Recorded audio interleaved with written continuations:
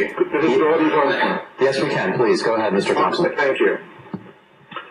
Um, uh, I prepared um, a comment on the uh, study that we're discussing uh, that was submitted uh, early August, uh, and I don't propose to go over that in uh, uh, detail because it stands for itself. But I'll, I'll touch on a number of points briefly. um, in summary, I concluded that the draft study was both misleading and incomplete. And uh, I'm sad to hear that the NRC staff continues uh, to make misleading statements, uh, which they did um, in the opening presentations for this uh, meeting today. I wish the staff would stop pretending that they have um, examined a low-density fuel storage case in the pool. They have not, and they should be uh, forthright and honest about what they have and have not done. Now, another point I make in my commentary is that the staff has constructed a superstructure of analysis, including regulatory analysis, based upon a very uh, weak foundation of basic understanding of the phenomena of a pool fire. The potential for a pool fire has been uh, known since at least 1979, so the NRC has had a period of 34 years during which it could have established a thorough understanding of the phenomena of a pool fire. Uh, it has not done so, despite many calls for this from public interest groups, state and local governments. It's essential to establish a solid uh, science-based understanding before considering uh, the event sequences that could uh, cause water loss or presence of debris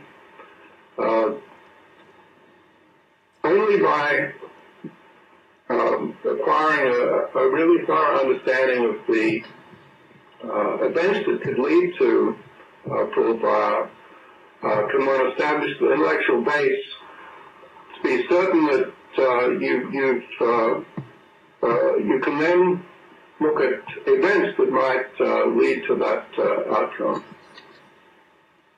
Now, early on, people uh, about pool and said, gee, the decay heat is very low. How can this be a problem? But as soon as you look at this problem, you realize that uh, the nature of a high-density closed-form rack is such that heat transfer is very feeble, especially when there's flow blockage from residual water or debris. And therefore you need a very careful analysis backed up by experiment to determine whether your um, hottest or highest um, decay heat fuel can reach the ignition point. Uh, you need further very careful analysis to see how that fire uh, propagates uh, within the first affected assembly and to other assemblies. Uh, this, this work has simply never been done properly. Uh, in this instance, the staff has taken the Melcor code, which was written for other purposes, and has adapted it uh, without providing a explanation of how they've done this adaptation or what uh, experimental validation they have for it. Uh, the staff has admitted in its own report that the Melcor code uses a very crude process of modeling radiative heat transfer, uh, which we know is a, a, crucial phenomena in determining the heat up of, of uh, fuel, uh, particularly in the event of flow blockage.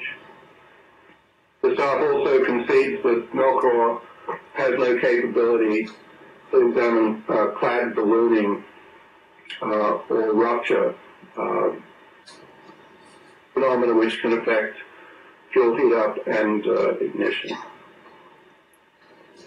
So my recommendation is that this study be scrapped completely and that the uh, NRC go back to basics, start with a clean slate, and develop a really solid uh, understanding of the phenomena accompanying a pool fire. I've laid out in my comments of August 1st uh, briefly how that could be done. And in, in doing so, the staff would need to address, uh, uh, among other issues, those raised by the ACRS in a letter to the uh, NRC chair uh, of April 13th, uh, 2000. And a number of uh, significant uh, phenomena were identified in that uh, letter report pertaining to the phenomena of pool fires. Um, I'll touch on them briefly. Firstly, with high burnup fuel, there can be a presence of zirconium hydrides that uh, could lead to spontaneous uh, combustion of ignition in air. Spontaneous combustion of zirconium cladding in air, excuse me. Uh, secondly, the zirconium air reaction can occur even if oxygen is depleted via exothermic uh, zirconium nitrogen reactions. And uh, associated particularly with the uh, hydride uh, issue uh, is the point that ignition temperature may be an inappropriate uh, criterion, and in fact, energy balance may be more appropriate criterion for determining whether a fire initiates.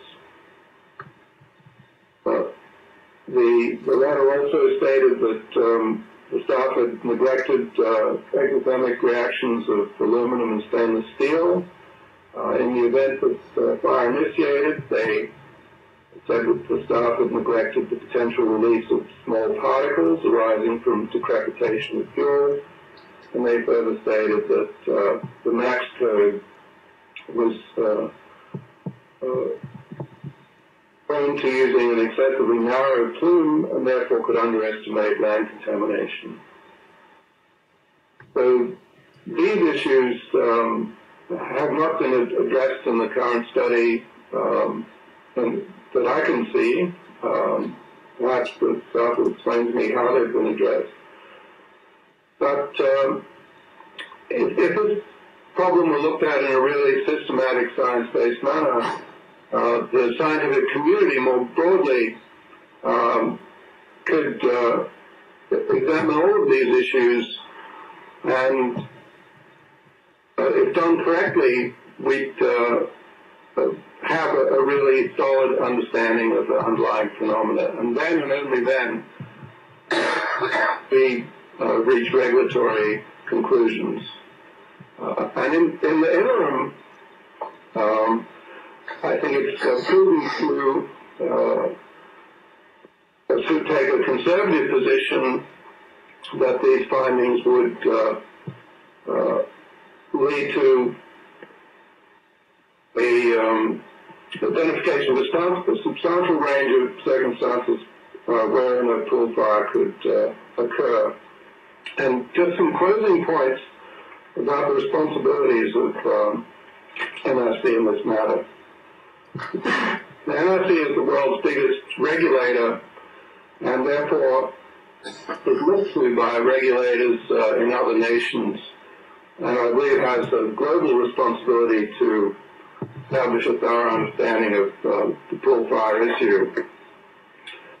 And in illustration of the significance of this, uh, I personally viewed a six PWR unit station in Asia uh, where the spent fuel pools are all above grade.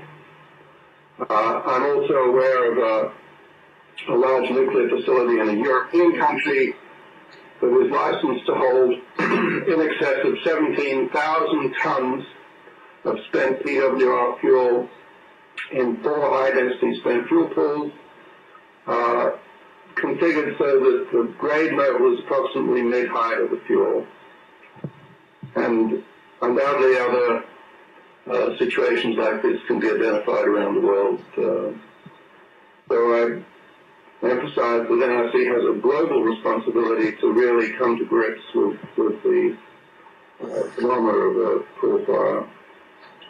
And finally, on the security uh, issue, uh, the United States government um, uh, reserves right to conduct aerial strikes on countries around the world and has done so frequently. The NRC has chosen not to require air defense of U.S. nuclear power plants. Uh, if you put those actions together, uh, I believe it's the uh, NRC's duty to uh, accurately inform the United States public uh, of the um, phenomena um, associated with the spent fuel pool fire. Thank you. That's my commentary. Oh yeah, go on, click the subscribe button. We need to get subscribed and get this unity stronger and beat YouTube at their own game. Okay, that's what this is about. Like I say, go to the remix button, hit the remix button. That way you'll have this video and, and keep up with this. Otherwise, you know, YouTube's just going to control us, guys, and it's, it's really bad.